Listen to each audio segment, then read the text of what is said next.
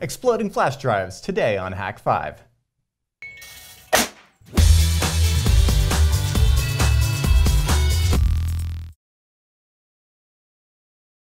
Today we have the great pleasure of being joined by an awesome guest that you may know from the InfoSec Twitter universe for the amazing antics, be it, you know, jacking packages from Amazon door locks or exploding thumb drives, which we're talking about today.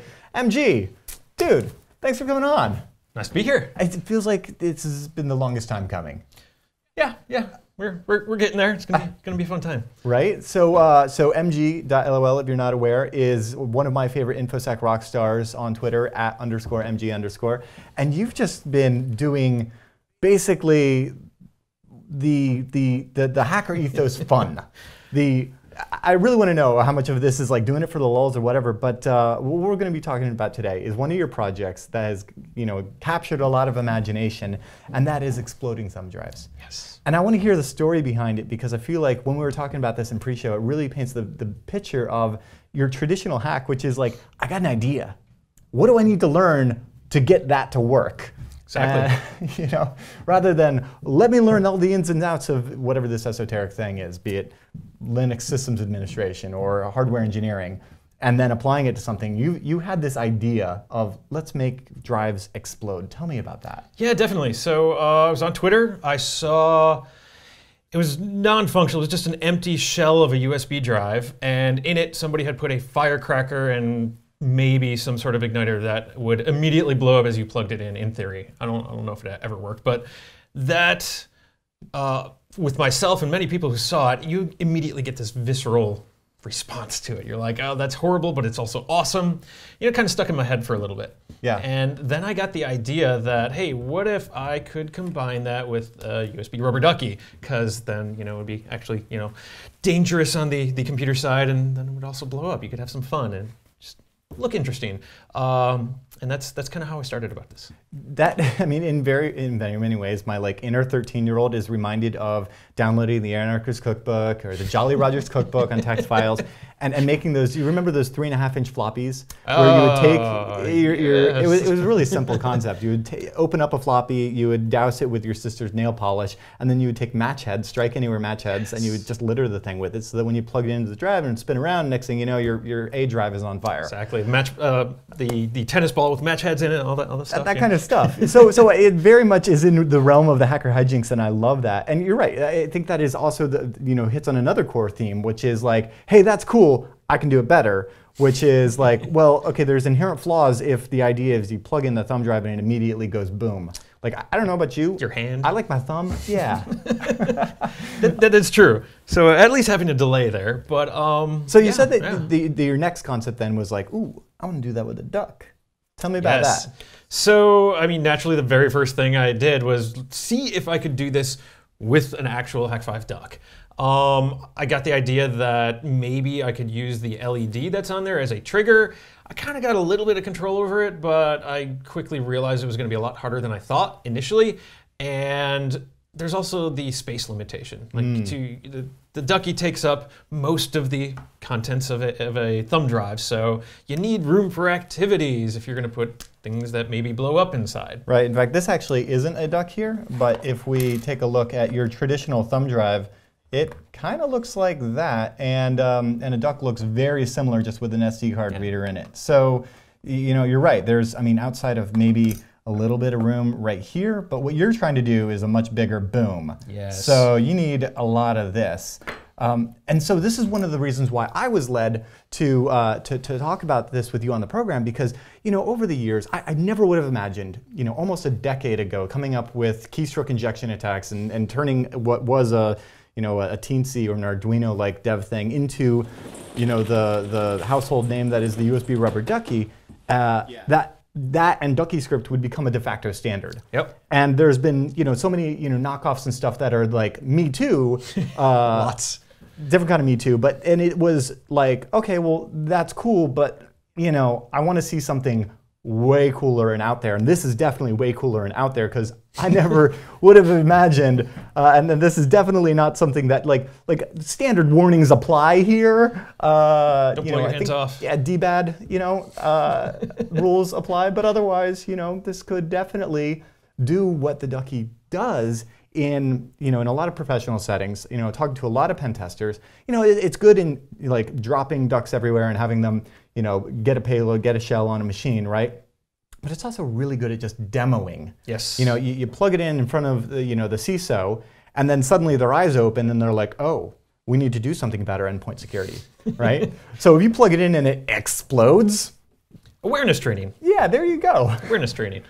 so um, what, what was the journey though? Because looking at the final product here, uh, you, you clearly have engineering background and experience. Clearly, no. Um, I've I've done light uh, electrical electronics work uh, in the past. You know, modifications and things like that of, of computer co- components.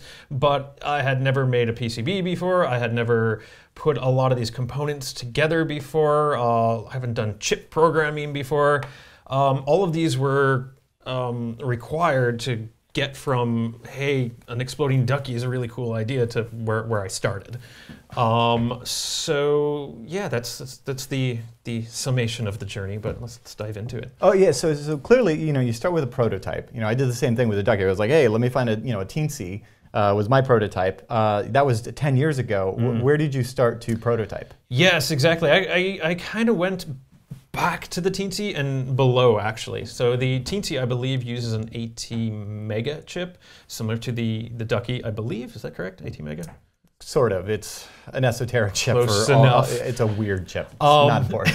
So yeah, Atmel makes the AT Mega. That's a common uh, chip people are using for these types of things. But there's something called the AT Tiny, which is, as the name would imply, tinier. Um, but you know, it's it's, it's reduced uh, processing power, uh, memory, etc. But just enough to get basic Ducky functionality out of it. So. Uh, I started looking around for ways of sourcing this, and you know, getting rolls of chips from China. It's a really slow process. It's expensive because you buy it bulk. So I started looking for products that already have most of the commo- components that I would need, and uh, I kind of settled on a DigiDuck, or in this case, a DigiDuck clone, because they were relatively So, cheap. so About- it's actually a clone of a clone. So this right here is your kind of DigiSpark Yes. clone guy. And so you're just like what sourcing the components off of there instead of trying to actually buy the components themselves. Exactly. Um, most of the board that I ended up with, uh, except for about two components, I harvest from this. It's also convenient because it's in ready to program form. It's got a bootloader on there, so that you know this speeds things up as well. Um, but at the same time, having that also creates issues down the line, as we'll talk about. Right. And then of course, you know, like many of these uh, knockoff knockoffs, you just got to Mm. buy like 10 of them and hope a couple of them work and Yeah, so about uh, two out of three of these tend to fail on me, um, if not immediately within the next two or three write cycles. So it's a little frustrating and um, makes it very hard to turn these into a, a mass scale project, as was eventually asked of me later. So let's let's go ahead and then get into the demo and see how this guy would then become that guy. Yes. All right, so uh, we've got the DigiSpark right over here. You can program that over the USB interface, which is nice and convenient. Up here on my screen, I have the very basic, close to hello world code that we're going to push down onto it. It's a pretty easy process here. It's So you just compile that yeah, it compiles, and then, and then it's just waiting for it. yeah. So we got about 60 seconds. Plug that in, and then it works. There it goes, detected, and it's actually going to launch. Oh, so it actually runs. Hey, hax.lol. That's uh, Dan Tentler, Viss, thank you. way to go, Viss. I love. This is a beautiful demo, by the way, for getting hacked. So is Windows93.net. Just putting that out there. Um, awesome. Well, that's that's fun as far as getting that on there, but that now means that there is going to be a five second delay Yes. between when you plug it in and when it actually executes every single time because it needs to be able to be programmed. Yes, that's how, that's how it uh, allows you to program it. Is there is a five second delay upon insertion. If you catch it during that time, you can program it. After that, it executes whatever you have programmed it with. So for me as an endpoint device security company, I would just be like, oh, if you see anything that's an Atmel that wants to be programmed within five seconds, you just kill that thing. Anyway, that, neither here nor there. Um, well, that's awesome though. So how do we get rid of that? Because clearly that's not what we're going to want. A uh, couple ways to do this. Uh, uh, SPI Programmer, you would clip to the top of this chip, and it allows you to modify the bootloader. Um, to do the bootloader bootloader change, you need a 12 volt programmer. Uh, you know, we can we can buy one of those. They're like 80 bucks, or you can kind of make one if you want. Yeah, a but chip, a chip lobotomizer. exactly. Um, the, the problem is that's not as much fun as another tool that's out there that allows you to introduce a NOP slide, uh, which is really fun. I would love to dive more into that, but from what I understand from this chip, it only being 8K, Yes. right? So a portion of that is the bootloader, and then a portion of that is whatever your code is. And in this case, since it's an Arduino code, that's that's basically injecting keystrokes. So um, to modify that first 2K, Yes. you just flash on basically an Arduino script Mm-hmm. that what tells it to tells it to nullify the bootloader. Yeah, so in the the NOP slide situation, you don't need the 12 volt programmer. Um, you can do this just clipped onto the chip, and it effectively it's it's kind of like nulling the entire memory space of the actual bootloader, and it causes the uh, the pointer that's trying to find where the bootloader is to slide all the way down into the user addressable space where there's a temporary bootloader that boots up reflashes the chip and its own, and then uh, puts a, a an additional bootloader into the actual bootloader space. So uh, it's a very hacky way Yeah. to get a new bootloader on there that removes the, the uh, delay. Well, then, then how do you program it again if you don't have that delay? Yeah, so you're gonna always at that point have to use the SPI clip to push new code onto your chip from the user addressable space with Uh, so, so whether or not you put that replacement bootloader on it with the NOP slide or you use the 12 volt SPI programmer, you're Mm-hmm. Still going to need a 12 volt SPI programmer. Uh, an SPI programmer, uh, not necessarily 12 volt. 12 volt is only Gotcha. for swapping out the bootloader. Ah, okay, cool. So The you don't have to buy an extra piece Yes. of equipment if you just do it in software. Yes. That's pretty cool. And this, so one of the cool things about this chip is that it's 5 volts, but of course the data lines need to be 3.6, and this does it in a very hacky way. What exactly is on this chip that's doing that? Yeah, so right about here, we've got two different uh, Zener diodes. Uh, they're like a diode that performs slightly differently than a normal diode. Basically, you feed it backwards and it acts like a voltage splitter. So Zener diodes will be rated at different voltages. These are 3.6 volt Zener diodes. And effectively, since this whole circuit is 5 volts, uh, the Zener diode shoves off anything over 3.6 volts to ground. Um, luckily, So does it just get hot? I mean, or, or what, what's the, the byproduct of it? Exactly. Because that doesn't sound like, oh, yeah, we're just going to toss some voltage away. Like everything will be fine. Uh, luckily, with the data lines, there's very little power running through them. So yeah, if we were running these on the data, uh, the main power lines, these things would just instantly smoke. There, there would be smoke everywhere. Uh, they would not work, and I actually accidentally did that to a few. Yeah, and you can't get the smoke back in the chip once it's come out. Yeah, from, from my experience at least. Luckily, I had you know two, two thirds of these uh, DigiSparks that were junk anyway, so you know har- harvest uh, Harvest a few those diodes. Oh, fantastic. Exactly. But uh, yeah, it's a, ha- a hacky way to get 3.6 volts onto the data lines um, with kind of low tech and low cost. That's pretty cool. So I'm looking at this here though, and and the thing that's that's standing out to me is, you know, I can see how you're like, okay, great. Let me now attach a firecracker or whatever have Mm-hmm. you to this and put it in a in a USB drive. But uh, That was my initial thought. yeah, Yep. I'm seeing I'm seeing a, a physical problem here. It's uh, that's that's no fitty. Yep. And actually, I, I had a couple different approaches. The first thing I did was Yeah. put this. Uh, I, I tried to trim down the sides of it. Didn't really work quite as well. It was it was just not happening. So ultimately, I had to design my own uh, stripped down circuit that removes a decent amount of the components on that board.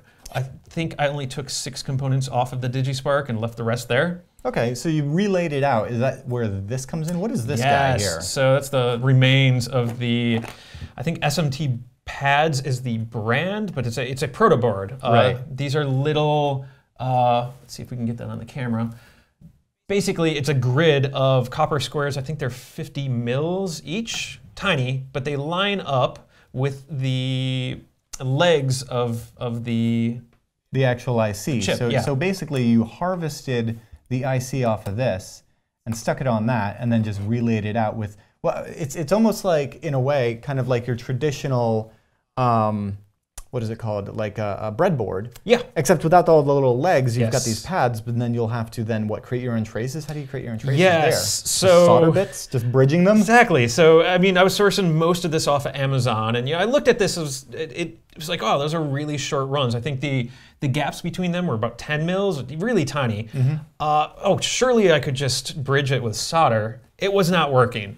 Uh, not not in a reliable way that made for a clean product anyway. Uh, so I got some copper tape I had for other projects. Started slicing little tiny, you know, 40 mil runs of that and making the actual copper traces where they needed to be. And that's kind of what led to the initial final product. Oh my gosh. This Project. is this is brilliant though because what I love about this is this is an example of how like okay look I don't need to know all of these things because what I'm trying to do is get this uh, result. So let me learn the few things that I, as possible that I need to actually put these pieces together. I know that this circuit needs to talk to that circuit through this trace, and it needs to be smaller. So Yep. here you go and some tape, and then you end up with something that's actually quite elegant. Uh, this guy, walk me through this. Yeah, so uh, here's kind of the initial final product here on the taped up proto board. I'm going to take this out just to show off a little more. So uh, we've got the primary AT Tiny on the top. We've got a MOSFET here. That was that was my addition to it. Uh, the MOSFET is effectively a higher amperage switch. The legs on these you can program to turn on and off, but they can't drive much. So this So what do you have those tied into? Because Yes. you know, so you're sending voltage to the MOSFET. The MOSFET is doing what? Yes, so that's that's the uh, the payload, the five volt payload. So the code, there's additional code that I uploaded there. If you if we look back to that, uh, it, it's turning pins on and off. This ties into one of the pins on the uh, the body of the the AT Tiny. Oh, okay. So instead of using the GPIO, you're using like what? The LED or something? Exactly. So that that was the LED of. There, there's two LEDs on the uh, DigiSpark. Okay. There is a green one for the power and a blue one that is user programmable, and that's basically what I'm hooking into there. Okay, so it thinks it's turning on an LED, but really it's feeding voltage to a MOSFET that's then, well, we'll get to that. Okay, so Yes. but, but as far as putting this, relaying out this and, and uh, getting that package onto a smaller board, what all are all the components here to make that work? So there's a few resistors in here, and that's for general USB compatibility. The USB spec is actually not super universal, it's kind of chaotic. They help compatibility within other machines. Some people can actually manage to run without this if your machine is highly tolerant. I wanted compatibility. And then, of course, there's the two uh, Zener diodes there to put 3 volt, uh, 3.6 volts onto the data lines. And we'll flip this back over.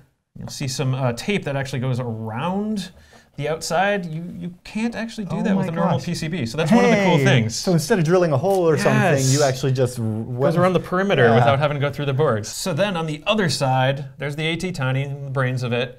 And then we've got a the MOSFET and a little resistor to help the MOSFET do its thing. So the MOSFET is feeding the voltage though through you know this wire here, but there's something exposed here. What is this? Yes, up up here. Uh, that's basically a resistance wire. There's there's many things you can do. This specific uh, payload is set up to make something blow up or do the cool smoke effects that you saw. Uh, they they need heat to start. This provides the heat. Um, okay, so essentially this is like what the same kind of stuff you'd find in like a like a like a cigarette vaporizer. lighter or va- Yeah. vaporizer. Yeah, pen. cigarette lighters, vaporizers. It, it'll glow when you provide uh, enough amperage to it. Right, and then so then you just shove it inside of the plastic case with a firecracker and, and call it a day. Yes. Eh, as long as you're not in the state of California. Yes. Let's go ahead and demonstrate Mr. Self-Destruct plugged into a USB extension here to this here Mac. And I love that your payload just opens up hax.lol. Thank you, Viss. Oh, whoa. You could see it like glow red and then there was like even a little bit of smoke. That's the heat you need to make fun things happen. Okay, enough rocking out. Um, that was fantastic. I mean, I think if you plug this into your computer and you know there's a uh, is that Pop Tart goat? If there's a Pop Tart goat dancing around on your screen that says "lol hacks" and your thumb drive has exploded, you might have been hacked, Might happen. or or at least you've convinced upper management to uh, maybe uh, give you guys some money for some endpoint device security. I don't know. I don't know. Either way, sounds like a lot of fun. Man, this has been a blast, and I know that there is so much more to this. Uh, I would love to have you on again to dive into some of the other stuff because I know you've done like Absolutely. custom PCBs, and it's this beautiful story of like, I want to hack something. Quick, start shoving things in until something comes out. It's beautiful. Let's do it. All right, uh, MG, where can people find uh, like you know build tips and uh, any of the other stuff related to this project? Yeah, definitely. Uh, I've got a website, mg.lol, um, also up on Twitter, uh, underscore mg underscore. Uh, both of those places I post, post a lot of stuff, um, and those would be good places to find me.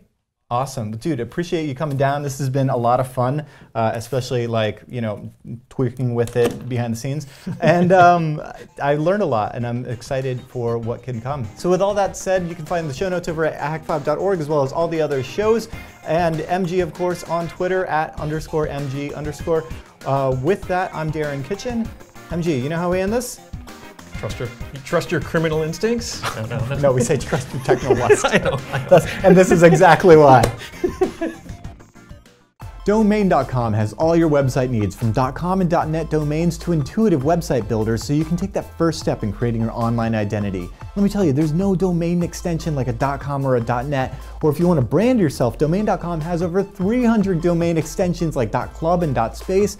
These guys are huge fans of Hak5. They're affordable, reliable. We've been using them for years. They've got all the tools you need to share your ideas with the world. And because they're such big fans, they are hooking you up with 15% off their already affordable prices. So get domain names and web hosting and email, and just be sure to use that coupon code HAK5. So when you think domain names, think domain.com.